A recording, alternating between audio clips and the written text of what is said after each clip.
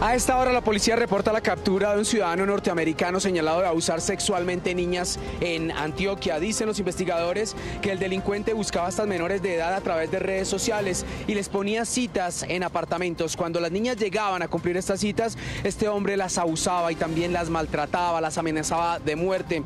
Dicen las autoridades que este hombre además grababa todo lo que hacía en estos apartamentos y luego comercializaba estos videos a través de redes de pedófilos en diferentes partes del mundo.